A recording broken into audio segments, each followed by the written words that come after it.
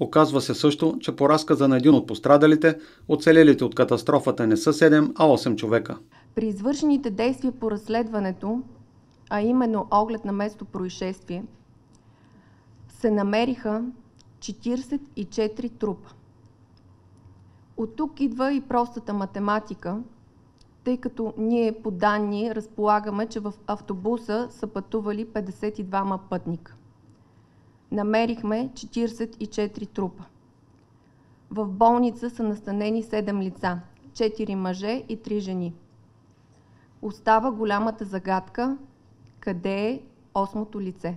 Работиме по тази версия. По случая работят трима прокурори и шестима следователи. Вече са разпитани двама от оцелелите, които са пътували в автобуса. Като и двамата са били будни към момента на инцидента и дават изключително точни показания за събитията в трагичната нощ. И двамата дават обективна информация, разпитани независимо един от друг, показанията им се припокриват напълно, поради което ги приемаме за абсолютно достоверни и коректно изложени.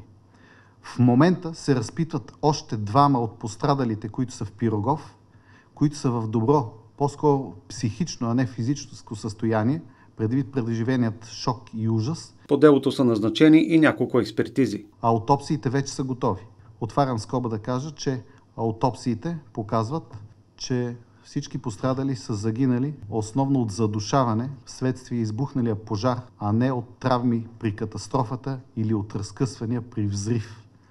Защото, без да навлизам в кой знае какви подробности, в дихателните пътища са намерени сажди, което означава, че са вдишали и са били живи към момента на пожара. Още утре екип от следовател и прокурор ще заминат за Скопие. Където нашите колеги директно ще предоставят молбата ни за правна помощ и още може би в рамките на утрешния ден ще получат изготвените ДНК профили от роднини на пострадалите граждани.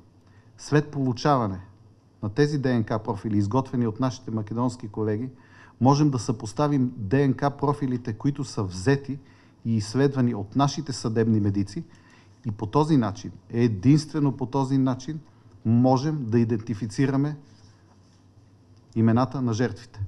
След което, разбира се, можем да освободим телата и да върнем всяко тяло на неговите близки, за да може да бъде погребано по достоен начин. Отхвърляна е версията за терористичен акт, заяви още Борислав Сарафов. Взехме ацетонови обтривки от автобуса с оглед наличие на взривни вещества. Съпоставено тези резултати, съпоставени с показанията на оцелелите свидетели, с показанията на свидетелите, които макар и не очевидци на инцидента, но веднага са се отзовали и са възприели първите буквално минути на инцидента и происшествието, категорично отхвърляме тази версия. Потвърждавам, не става въпрос за терористичен акт. Работата по случая продължава. Автобусът ще бъде огледан от следователи и експерти за окончателна преценка дали не е възникнала техническа неизправност, която да е предизвикала катастрофата. На този етап като основна версия се очертава човешката грешка.